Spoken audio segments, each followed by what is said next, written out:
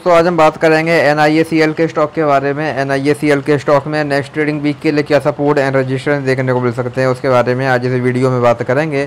हम अगर यहाँ पर स्टॉक की बात करें तो हम देखेंगे जो ये स्टॉक है, ये हमको पहले यहाँ पर लगातार के लिए डाउन ट्रेंड में देखने को मिल रहा था। पहले हमको स्टॉक में लोअर लो लोअर हाई वाला पैटर्न यहाँ पर देखने को मिल रहा था, लेकिन फिर स्टॉक ने यहाँ पर सपोर्ट लिया, जिसके बाद से अभी अगेन हमको स्टॉक में तेज़ी देखने को मिल रही है। अभी अगेन हमको स्टॉक में हाइयर हाई हाइयर लो वाला पैटर्न यहाँ पर अगेन देखने को मिल रहा है। आज भी हमको यहाँ पर स्टॉक में 12.88 परसेंट की यहाँ पर एक बड़ी तेज़ी देखने को मिली है।